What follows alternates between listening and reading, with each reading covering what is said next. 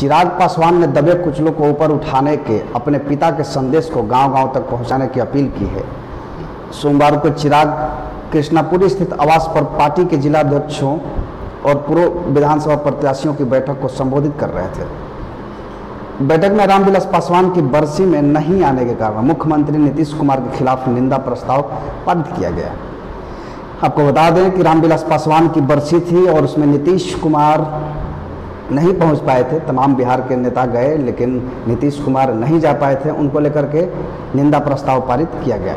चिराग पासवान ने कहा है कि रामविलास पासवान अंतिम पायदान पर खड़े व्यक्तियों के लिए संघर्षरत रहे और कोरोना काल बतौर खाद्य आपूर्ति मंत्री पूरे देश में समाज के अंतिम पायदान पर खड़े गरीब रेखा से नीचे के लोगों को खाद्य सामग्री उपलब्ध कराने को लेकर अपनी स्वास्थ्य की अनदेखी कर प्राण की आहुति दी।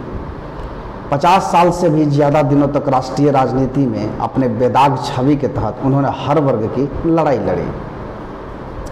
लोजपा के प्रदेश अध्यक्ष राजू तिवारी ने कहा कि लोजपा संस्थापक के प्रति गलत व्यवहार बर्दाश्त नहीं होगा।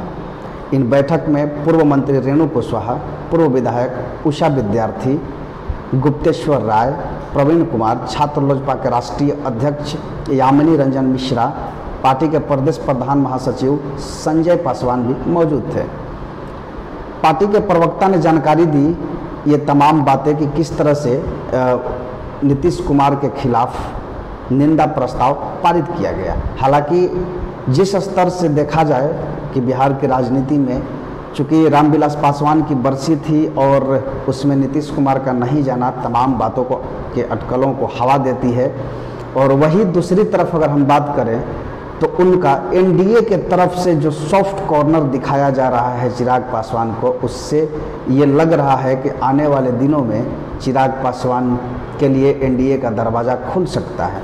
दूसरी तरफ़ आरजेडी भी कहीं ना कहीं ये चिराग पासवान को अपने पाला में करने की कोशिश कर रही है। बहरहाल, जो होना है वो आगे होगा, लेकिन अभी जो बातें हैं कि नीतीश कुमार के खिलाफ चिराग पासवान ने निंदा प्रस्ताव पारित कर दिया है तो ऐसे तमाम खबरों को देखने के लिए बने रहे बिग न्यूज़ नाइन के साथ। नमस्कार।